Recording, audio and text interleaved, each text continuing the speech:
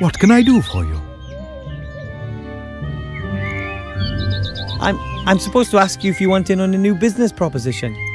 I've always got a spare ear for that. Tell me about it. Death wants to offer live burials. What are live burials? You bury people, living people. That's complete nonsense. I know, How much capital does he need? but I thought you said the idea was ridiculous. That doesn't mean there isn't any money in it. Think about it. Death abandons his previous business model and strives aggressively into new markets. And I, as the widely recognized expert of the future, see excellent prospects for success. But who would want to be buried alive? No one. But that's not important. We'll get the money directly from the capital markets. Investors will be queuing up. Um, okay, so I can tell Death you'll provide him with financial backing. Of course. I'll come over this afternoon and discuss it all with him. In the meantime, I'll start feeding the rumour mill. Hmm, okay then. I don't get it. Why give Death money when he'll never earn a single gold piece with his live burials? That's not the point. We'll sell the story, the vision. But sooner or later, people will realize what a stupid idea that is. Naturally, but that'll take time. First, we need a glossy prospectus with pretty coffins and some joint ventures that create media attention. Sign up some celebs to give testimonials. Then the operational losses won't trouble us so much. We spend loads of gold, and more and more fortune tellers will predict a good future for our company. Why should they? Because the shares they have in the company will then rise, and they'll not only make a profit, but also prove that they were right. I didn't understand any of that. That's good. If everyone understood, who could I sell my fortune telling to? I'll just be going. I have seen that you're going to come back. See you then.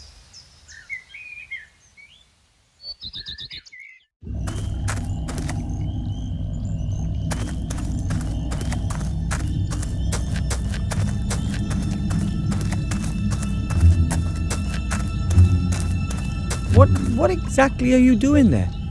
What does it look like? I've dug a grave, with grandfather's old spade in my hand and father's top hat on my head. It's simply brilliant.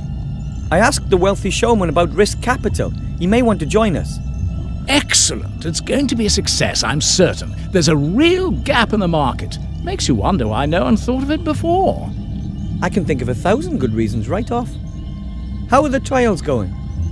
So far, so good. It didn't take long to dig the grave. I've got the coffin here. Of course, it doesn't meet the standards we're aiming for, but it's good enough for the trials. Certainly. Good. Then climb in. Hmm? It was your idea. You should have the honor of being the first to be buried. Oh, that's. that's so courteous of you. Credit where credit is due. All right then. I'm too long with the top hat on. Could you hold it for me? With pleasure. Very comfortable thus far. Now, pile the soil on top. Are you certain? Of course, just do it. Fantastic! The darkness, the silence. You have to try this. We should have funeral music. And the customer should have his photo taken with me beforehand. Write that down, Wilbur. And we'll have canopies for the bereaved. Have you got that, Wilbur? Canopies and gun salutes. Cannons, Wilbur. We need cannons.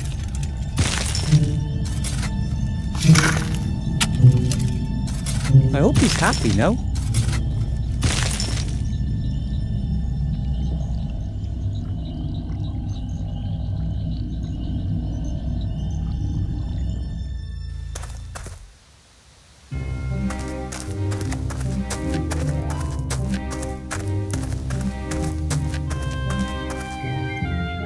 Hello. Wilbur, what can I do for you? Look, here's the rabbit for the spell. And a white one at that. That's perfect. Now we just need the top hat. On my way. I have the top hat for the spell. I uh, had to pry it from death's icy grasp, so to speak. Well, at last we've got everything. Come over here. Put the top hat on the table. Put the rabbit in. Now I'm putting a black cloth into the hat. This on top and finished. As you can see, an empty top hat. But You have to do a lot of arm waving and the like. The audience mustn't be allowed to get a proper look at the hat. Then you say a few incantations and make a big to do about it. You haven't got a pretty assistant, have you? isn't that.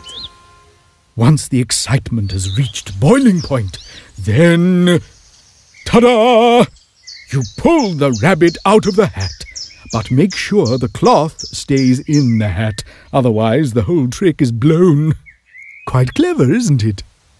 That's fraud, and it's not magic either. Um, of course not, but it looks like it. But, but, but I wanted to learn a real spell.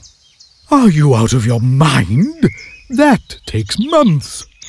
I, I can't just swindle my way to my diploma with a trick like that. Excuse me, you said you wanted to get your mage degree, and you said you needed it quick. This is your only chance. Oh, what choice do I have? Good luck with the show.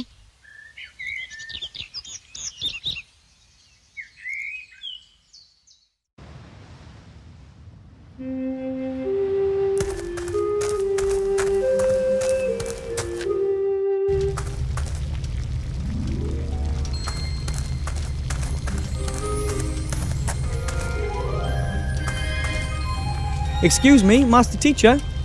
What is it? I'd like to show you the trick. Uh, spell.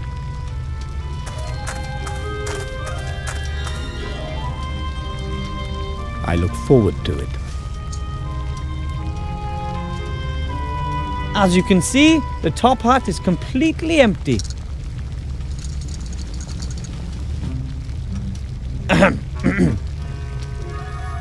um, abracadabra.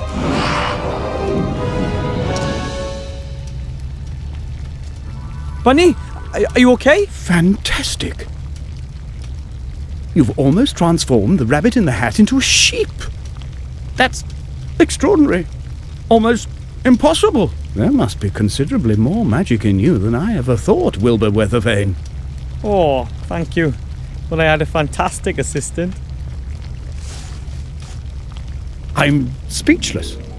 You're the first gnome in centuries to become a graduate mage. And you've passed the exams quicker than anyone else in history. What's your secret? I believe I can do anything I want if I just believe in myself. Oh, really? You could fly like a bird just because you believe in yourself. Well, maybe not that. But that's exactly what you've done. You've achieved something impossible. Maybe I was lucky. Or it was predestined. As unbelievable as it is, you've passed all three exams. Wait. Mage degree for Wilbur Weathervane from the White Ridge Mountains.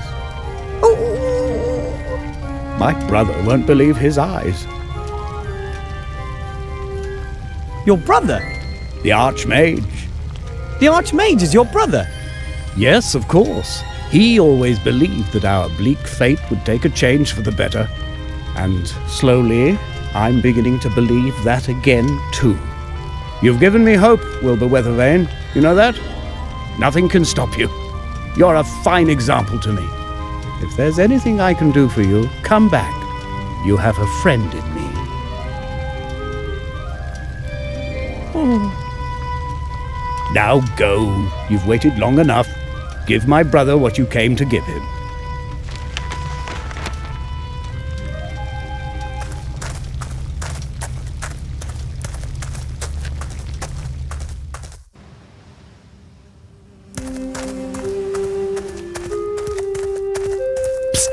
Wilbur, Hello, Mr. King. Look, I'm a certified mage. I told you you'd do it. We're all so proud of you. Thanks. Our work is now done. We are all well fed. I think it's time to say goodbye. Oh, you want to leave for the country?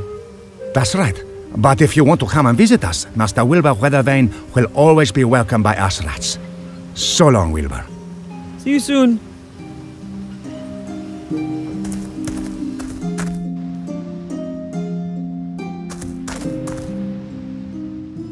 Hello, Mr. Shieldhand. Hello, Wilbur. What do you want? You there, town guard. Have a look at this. Effective immediately. So you may address me as Master Weathervane, and I wish to see the Archmage now.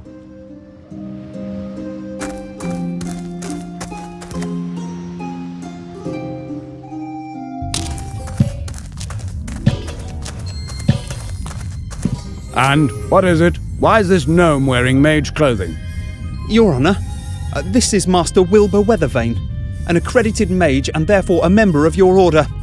Nonsense. I know all the mages in the land. But but it's true. I completed my degree today under your brother's tutelage, Master Marcus. That's impossible. I've no time for such absurdity. Take your leave, gnome.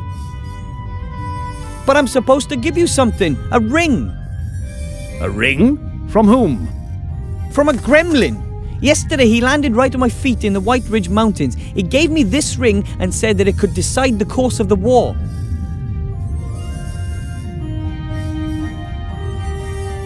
Hmm. Master Alistair, I turn to you in great haste as well as in great fear. I have made a discovery that could decide all of our fates. I know where the artifact of destiny is to be found. Your Serene Highness, you know the stories. A legendary artifact created by the goddess of destiny and providence. An extraordinarily precious and dangerous thing. As good fortune is bestowed on its carrier, everything that he attempts succeeds. Everything that he desires, he receives. Everything bends to his will, always. It is a truly dreadful power, a god's power. Just imagine if this were to fall into the hands of the enemy. I have found that the artifact is hidden in a temple on a small island called Sordia. You must find it and bring it to safety. You must! Help us, Master Alistair. You're our only hope.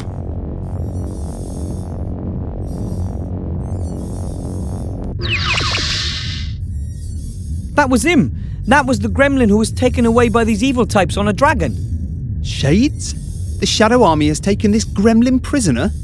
Sir, we have to send everything and everyone to this island. Every ship, every griffin, every. Enough! We have to behave inconspicuously. We don't know what information the Shades already have, and we mustn't help them get on the right track. No, sir.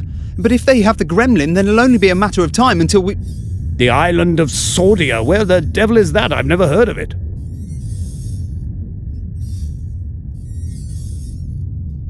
I'll be leaving the city for a few days.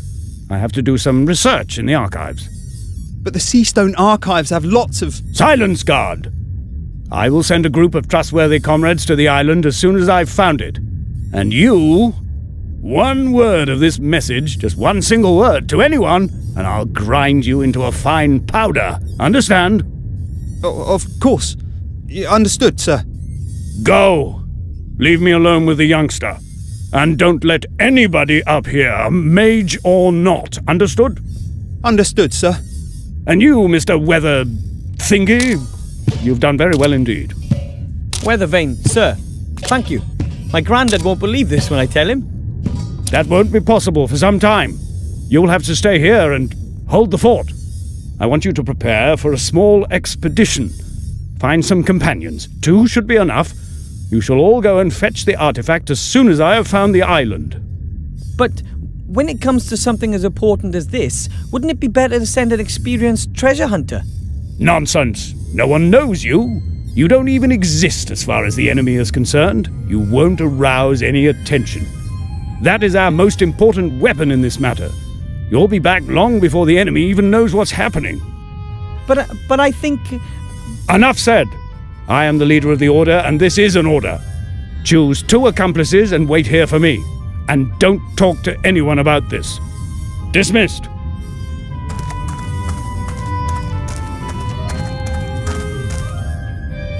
When.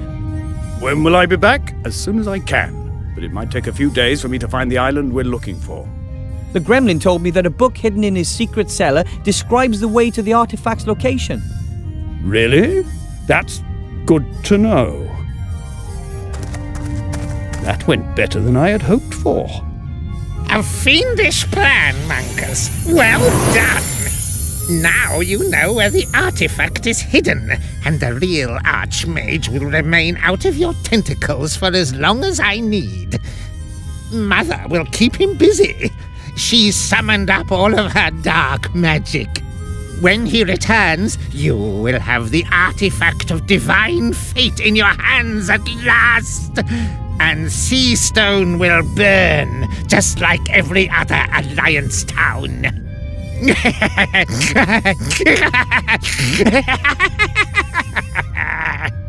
oh man.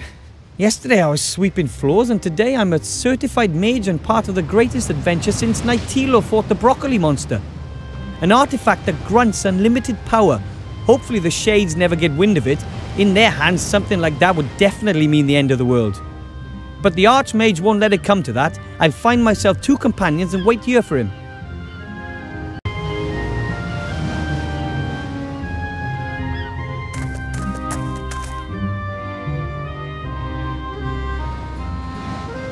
By the gods, that's a female orc, here in the human town, and she's taken one of them prisoner.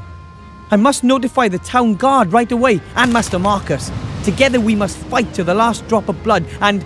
I can hear you! Stay where you are. I'm, uh. I'm a mage. So I see. A, a dangerous battle mage. Now that, on the hand, I find doubtful. Who. who are you? What do you want here? And how did you get here? A lot of questions. Give me one good reason why I should answer them. Her name is Elizabeth. She's come here for the annual beauty contest and has brought a golden Pegasus with her. He's called Bob. Nice to meet you, Elizabeth. My name is Wilbur. I am a bounty hunter and just passing through. Uh, are bounty hunters allowed to simply tie up here? Certainly. Bounty hunters and merchants are neutral in this war. Nobody wanted the bounty hunters. I'm just waiting for Bill the merchant who has my provisions. Then I'm on my way. I have no idea what's going on here, but the airship could be exactly what I need for my expedition. Who did you just speak to? Uh, to no one, really.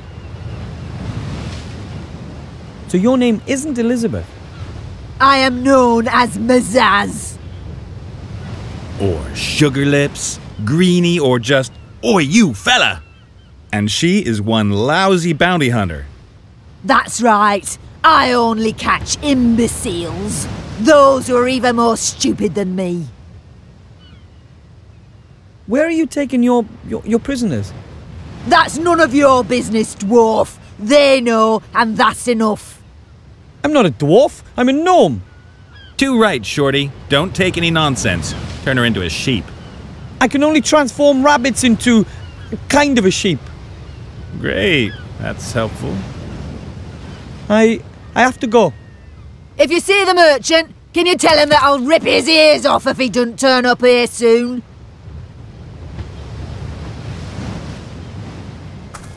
A large net might be a fishing net or maybe one of those cargo nets.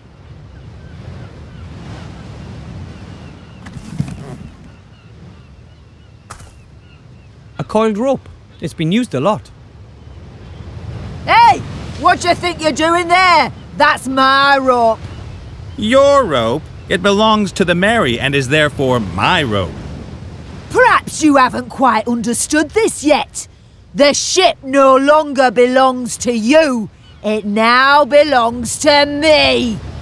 Over my dead body. Aye. Um, um, well, no matter who the rope belongs to, it, it's not mine. Sorry. A bale of cargo. Looks heavy. Maybe compressed cotton or the like. It's a long way down beneath the plank. You wouldn't catch me standing on it.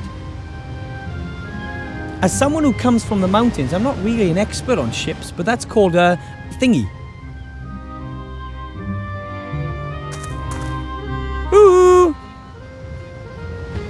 Hi. I'm Wilbur. Who are you? Someone with a tiny problem, as you can see. Could you do me a favor and whack that green lady over the head? Come on, Nate. I'm only doing my job here. I know the job market's tough, but yours is going to cost me my neck. Undoubtedly. Are you a pirate or something? No. Yes. Well, I have been called that occasionally, but I'm just about as much of a pirate as Mazaz here is a ballet dancer. I'm the captain of this proud ship, the Mary. I'm a freelance treasure hunter. You're a swindler. And you're a terrible ballet dancer. I like ballet. You're a professional treasure hunter. So you know your way around sunken temples and the like. Of course. I have traveled all across the skies to the ends of the earth. I've fought Cyclops and seen things that a man probably shouldn't have. Such as Mazaz here, for example. Suppose I needed to travel to a certain island and I could show you the island on a map. Could you bring me there? Well, apart from the fact that I'm sitting here in a cage, then sure. Then we'll just have to free you. Hello? I still happen to be here. What's that got to do with it? Hmm. See you later. Take care, Shorty. Captain Nate is a treasure hunter. And he has his own ship. Someone like him would be perfect for my team. But how do I get past that orc lady? And all on my own? I've never seen a creature like that before. It's similar to the demon from the inn. Maybe it's just an animal.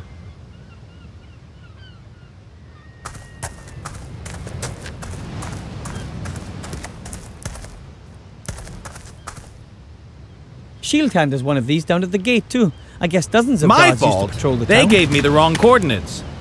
The coordinates were correct. Yeah, great. Some kind of weird orc system. Look at me. Do I look like an orc? Maybe they should have given me the coordinates for a human navigation system. Perhaps you could have simply listened work. while things were being notice. explained to you at great length. I've been a captain for 15 years. I don't need things explained to me. Quite obviously, you do. At the very least, you might have noticed that it was not a stinking headquarters when you landed in the wedding cake. The bridesmaids looked pretty suspect. Ah, so that was why you decided to strip search them, was it? The pillar holds up this little roof. It looks pretty strong.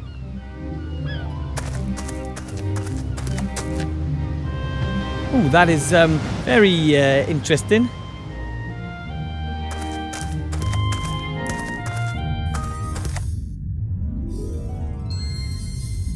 Hmm, there's something on top of that cabinet. Some papers of some sort.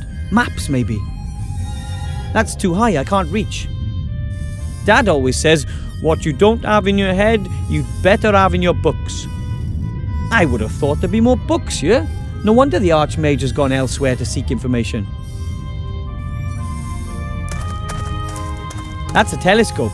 Grandad has one. The question is is it a masterpiece of technology or magic? Or perhaps both? How does the Archmage get up there? Maybe he's a floating chair. That is probably the thickest book I've ever seen.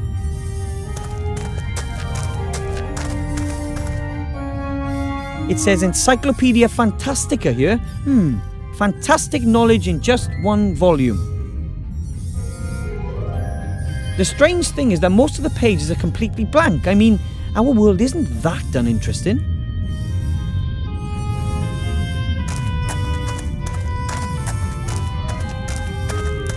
Now that's what I call magic. Fantastic. A huge map of the entire country, and I've only seen a tiny corner of it to date. Wow! No idea what these globes are supposed to represent, but they're gorgeous. The flower keeps floating away from it. Maybe it's shy. Strange idea stretching a map over a globe like that. How are you supposed to use it?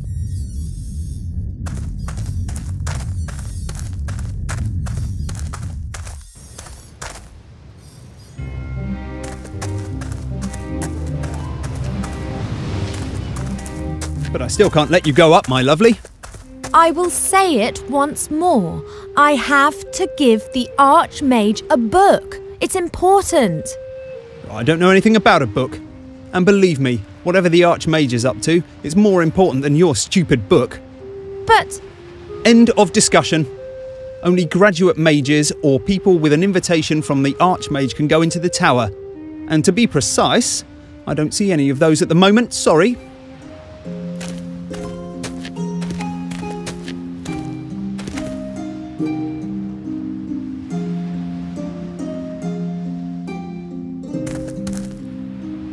Hello. Hmm. Hi. You're an elf, right? Indeed. And you are a kind of wood goblin? I'm a gnome. Wilbur Weathervane. Master Wilbur Weathervane. Pleased to meet you. You're a mage. With diploma. Then you can go into the upper town and into the mage tower. That's exactly where I've just come from. Could you take me up there? Who are you? My name is Ivodora Eleonora Clarissa, Princess of Silverwood. Ooh. You're a real princess from Miss from Silverwood. Call me Ivo. He's called Cheap Cheap. I overheard you talking to the city guard about a book. Do you need to take it to the Archmage? I have to. It's very important. Could it be that you got this book from a gremlin secret cellar? A gremlin who shortly before had been ejected over the White Ridge Mountains? Get out of my brain, you mage! You almost dropped the professor on my head. He sent me here with a secret message for the Archmage. Oh, were you able to bring him the news? Yes, it was very disquieting. I believe that the book you're carrying explains just where an extremely powerful artifact can be found. Yeah, the gremlin did hint at something of that sort. He was very concerned. He's got every reason to be. The Archmage is gone. He's trying to find out exactly where the artifact is hidden. And then I'm supposed to go get it, quietly and secretly, along with two friends. But it's here. This book tells us where the artifact can be found. Unfortunately, the Archmage doesn't know that. This whole story is too much for one gnome. I think we should work together. I should really be at home in the elf burrow listening to Uncle Ignacio droning on. I am in enough trouble already. Don't you understand? This book explains the exact location of the artifact of divine power. That's precisely the information the Archmage is looking for. Then take the book and wait for him here. And if the shades are faster than we are, what if they manage to extract the information from the old gnome before the Archmage returns? And what then? Are we to fight the shades single handed? And what are we talking about here, by the way? What is it that the Shadow Army want to get their hands on? I can't tell you that here. How about this? I'll get you into the Mage Tower somehow, and there I'll show you the Professor's message and. And then I can decide whether I'm in or not. It's a deal. I'll be back. And I will wait.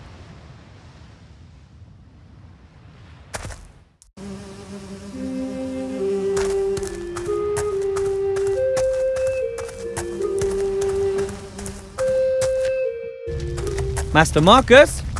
You'll never believe this, but. Master Munkus? Hello? Hmm. He's not here.